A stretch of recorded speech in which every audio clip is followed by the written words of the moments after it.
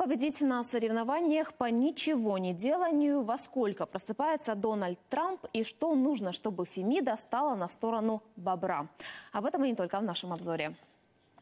Спортивные «Санты» в Мадриде устроили рождественский марафон, невзирая на традиционное испанское тепло. 7 тысяч человек в костюмах Санта-Клаусов и эльфов пробежали 5 километров по улицам города. Для создания зимнего колорита пришлось использовать искусственный снег. Участникам необходимо было заплатить небольшой взнос. Часть собранных денег пойдет на нужды онкобольных.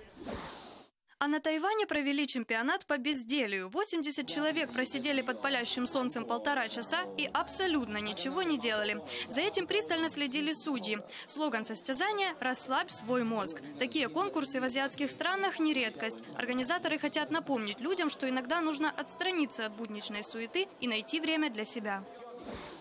Утро начинается не с кофе. По крайней мере, у Дональда Трампа советники, помощники и друзья американского президента рассказали журналистам о его распорядке. Просыпается глава государства в полшестого и первым делом обновляет твиттер. Потом включает телевизор. Этому занятию уделяет от 4 до 8 часов в день. Подписывать важные документы начинает иногда еще в пижаме. На протяжении дня выпивает больше 10 баночек диетической колы. По выходным играет в гольф, а вечером приглашает гостей на ужин, который состоит из стейка, салатов и мороженого.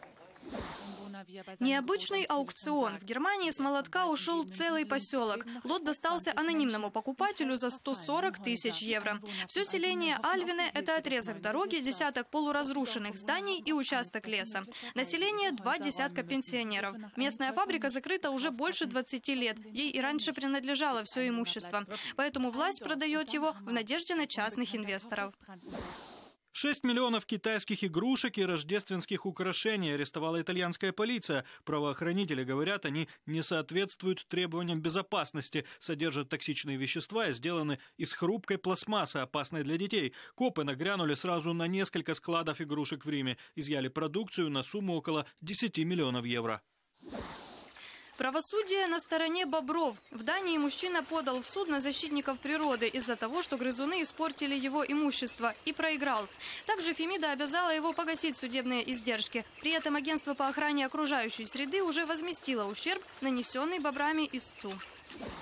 Сенсационная находка в Египте. Археологи обнаружили две гробницы, которым три с половиной тысячи лет. В одной усыпальнице нашли мумию. Ученые предполагают, это забальзамированное тело высокопоставленного чиновника. На потолке гробницы обнаружили герб фараона Тутмоса I.